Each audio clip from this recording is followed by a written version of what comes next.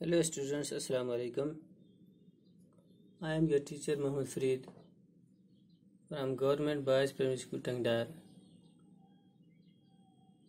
We are reading English 7th class. We have started a new lesson, a mad tea party. Today we have to read from page number 21.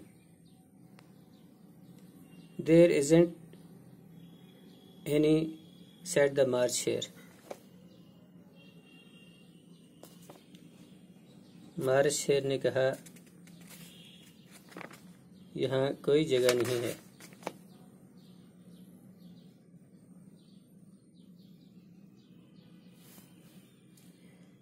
Then it wasn't very poli polite of you to offer it, said Alice angrily.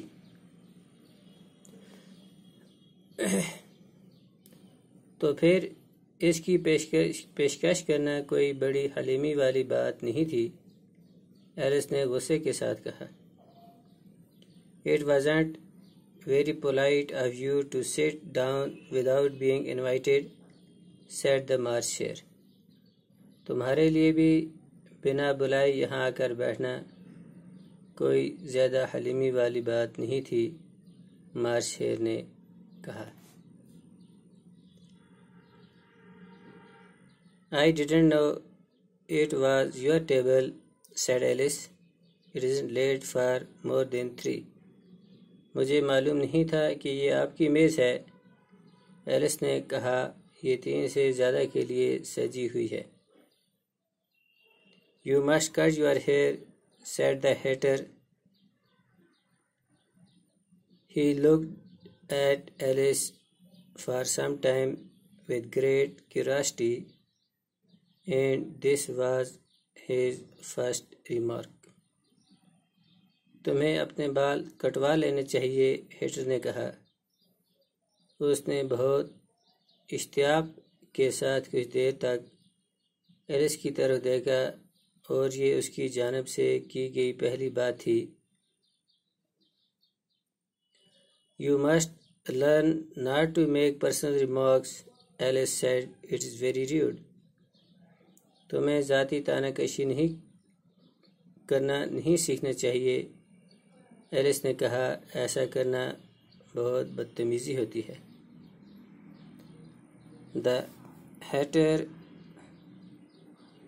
opened his eyes very wide on hearing this, but all he said was, Why is a crow like a writing desk?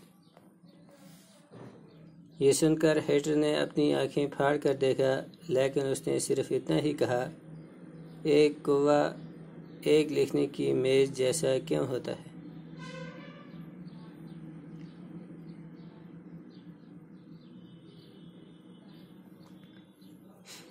We shall have some fun now.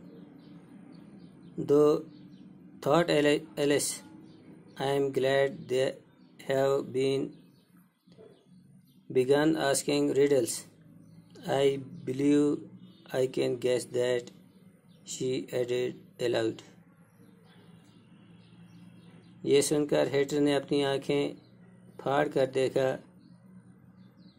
लेकिन उसने सिर्फ़ इतना ही कहा एक कौवा एक लिखने की मेज जैसा क्यों होता है अब हमें कुछ दिल बहलाने की चीज़ देखने को मिलेगी।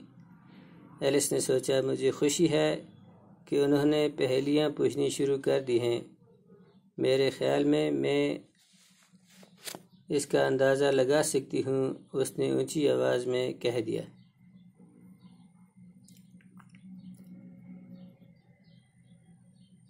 तो आज का हमारा लेसन कंप्लीट होता है। शुक्रिया वसलाम